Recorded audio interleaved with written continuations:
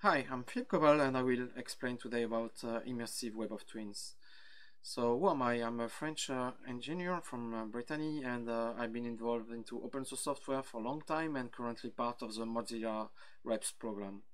I've been involved into uh, industry in the past, mostly embedded Linux, and I'm currently available. So you can reach me at uh, purl.org slash rzr where you can see a previous presentation or uh, demonstration and I'm currently available for cooperation or creative jobs.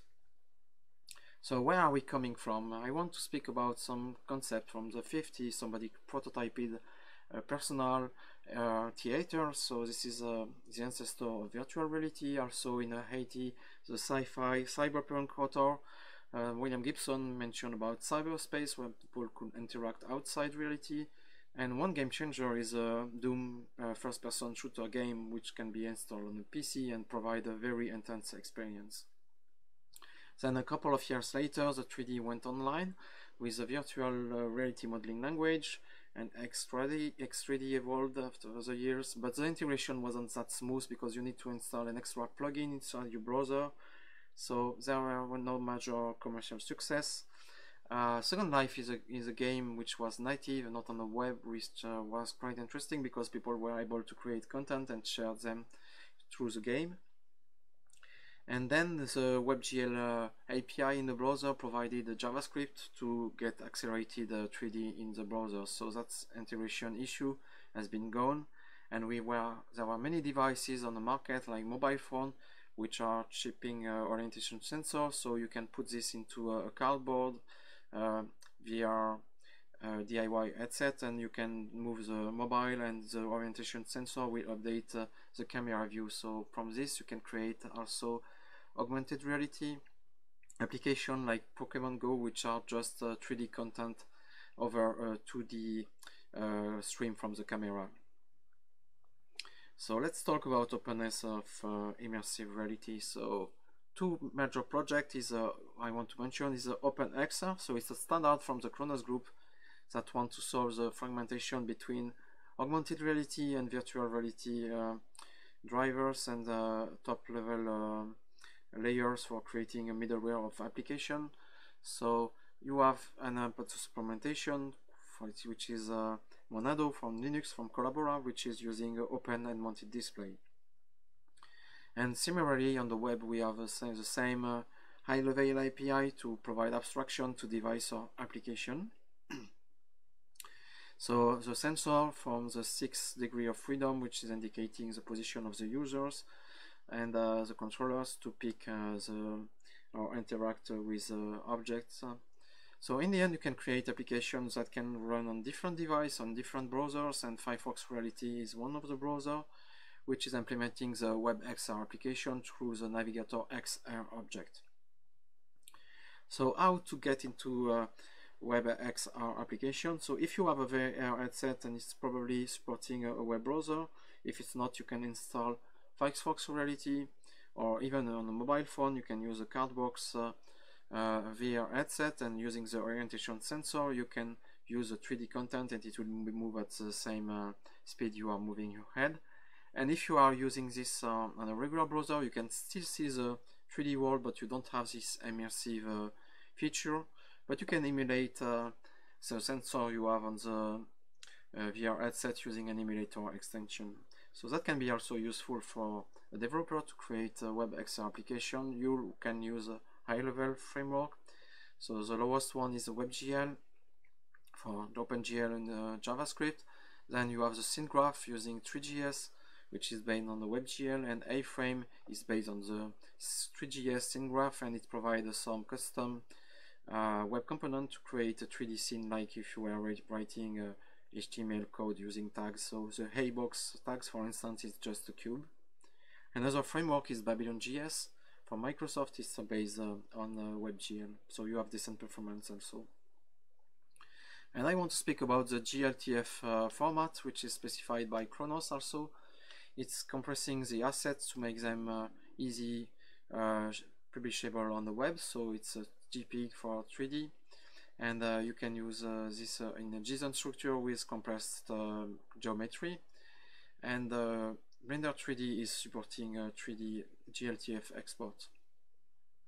So the web as a platform, as we know, is not only flat, it's not only for 2D documents, it can be 3D, and you have some immersive uh, feature, which is uh, WebXR, which is a superseding uh, the WebVR, and it's dynamic because you can create a script application using JavaScript, and it's programmable and interoperable with uh, web services.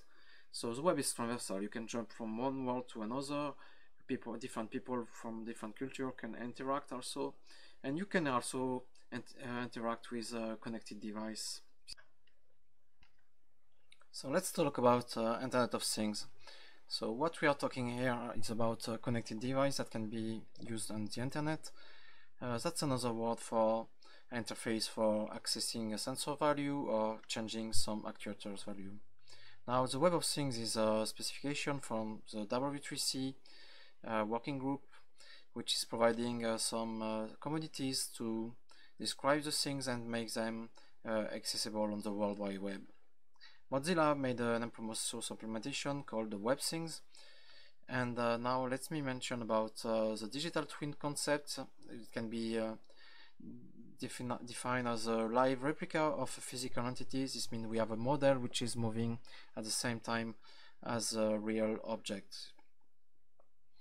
Uh, web of Twin experiment is something I made to try to bind uh, the Web of Things to the extended reality. So I've been using the Web Things, uh, uh, Web of Things uh, API and the A-Frame framework for the rendering.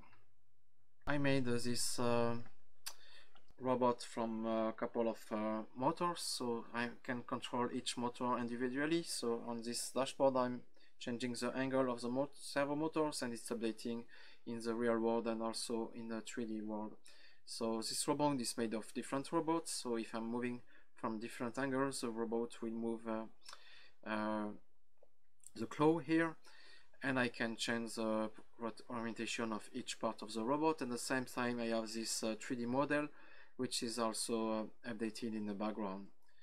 So both are working at the same time because they are connected to the same uh, WebThings gateway and uh, it's not that smooth because this is just the order of the angle of each motor it's not a smooth transition.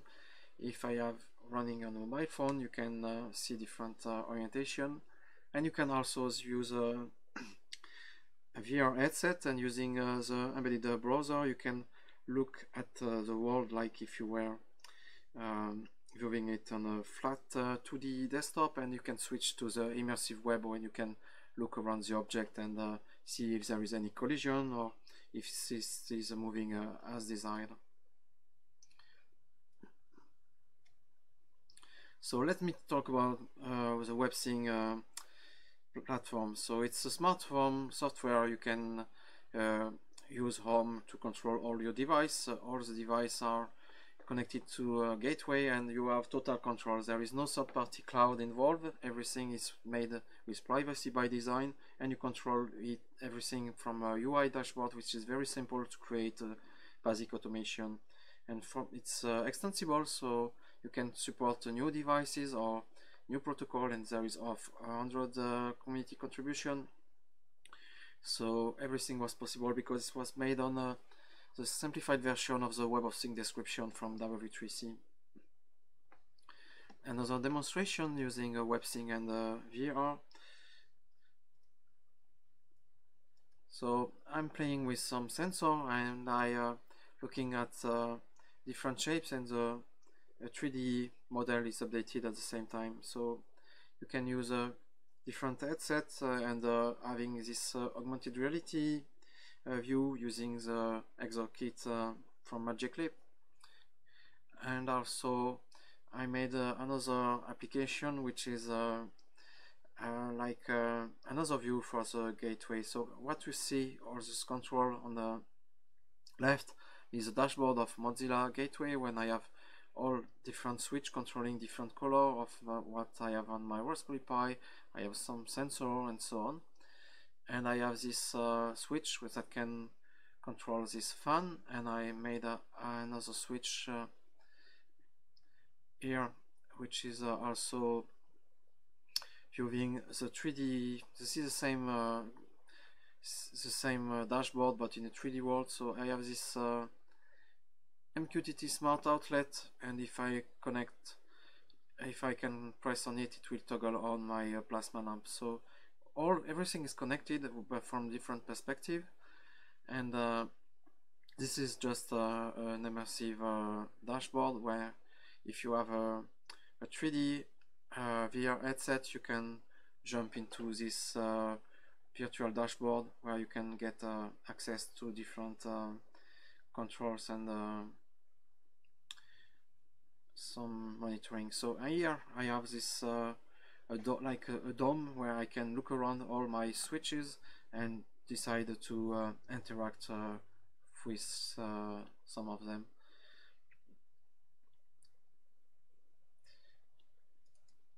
Another one is using the the camera stream to as a background for the 3D dome. Let's move on. So how this is possible?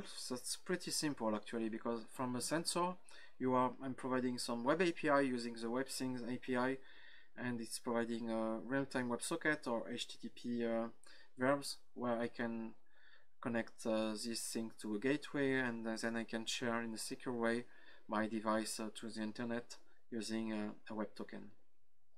Then another XR application can listen to the update of the actual thing and update uh, the 3D model accordingly.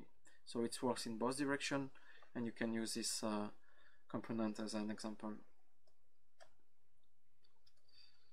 So another simple example here. So I made uh, also um, I have the gateway running on the Raspberry Pi and on top of it I have uh, this extra board with uh, some extra sensor like uh, the temperature and I have also um, a, a, lamp which is a matrix LED where I can change some properties of my lamp like the message uh, properties which is updating this uh, text uh, scrolling welcome to Libre Graphics Meetings. And my next uh, job is out. Can I connect uh, this uh, smart light bulb? So it doesn't work this way because it's a Bluetooth mesh. So I had to write an adapter and connect the adapter to the dashboard. Then it scans the device. I can add the new device. And then it appeared uh, like uh, another thing. So if I press on this uh, shortcut it will toggle it on and I can change some specific uh, properties like uh, the brightness of the lamp and it will be updated at the same time. I can change also the color. So I made a 3D uh, application so it's basically uh, a digital twin of uh, my uh, lamp so if I'm changing one of its property it will be updated at the same time so to view this you can use a, a VR headset. And uh, if you don't have any you can uh, get this uh, super cheap uh, cardboard where you put your mobile on it. And uh, using the mobile sensor it will uh, display the right camera. So if you need to switch to VR mode then you have two different view for each eye. And if you have this extension in the browser you can also simulate your sensor position. So if I'm getting access to my headset here. I can change the orientation of the headset so the display will be updated uh, like if I was moving around. If you have other device with uh, controllers you can also trigger some events uh, on the controllers button that can be useful to create a um, interactive application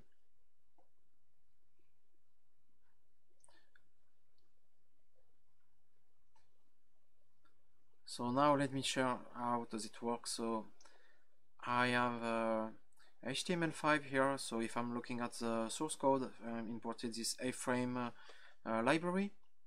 This means that I'm able to use custom web component and describe the scene composed of a sphere which is a light bulb and the cylinder for the bottom, the screw of the light bulb. And here I have the color property where so this is what I'm changing and those two keywords which are WebThing and properties so WebThings is this uh, web component and web properties is uh, the binding uh, function to adapt the web things uh, update to the XR uh, view. So on in the update function for different uh, properties of our thing, I can decide to update the color if I'm changing the on property and I can set it to white when it's on and to gray when it's off.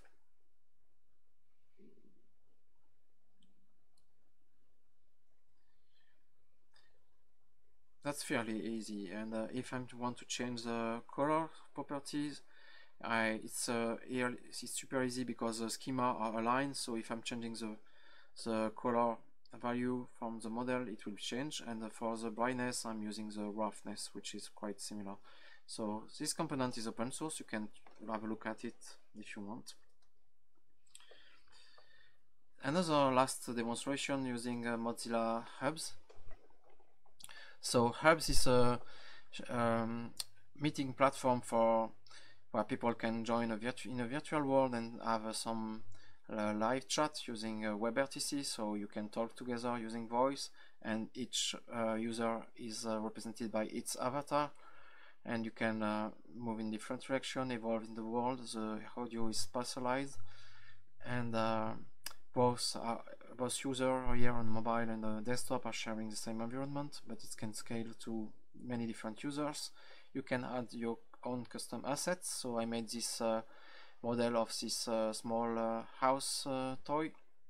And on this house I have some sensor. When I'm moving the house in different orientation. It will update uh, the, the model position in the virtual world at the same time. So to do this on my roof of this uh, real house I have a Raspberry Pi which ship uh, this Sense HAT sensor with uh, the accelerometer, gyroscopic and uh, magnetics so I can know the direction, the angle to the north. So if I'm moving in a different uh, orientation the angle will uh, slowly uh, change and slowly converge to the actual position to the north.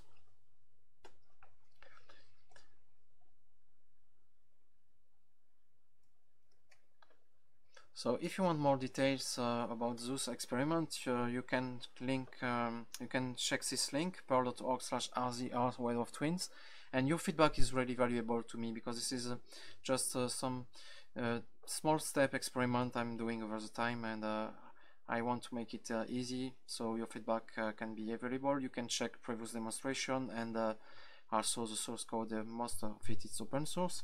And if you have any question, I am in the LGM meeting room so you can ask me on Matrix now or later online. Thanks for watching.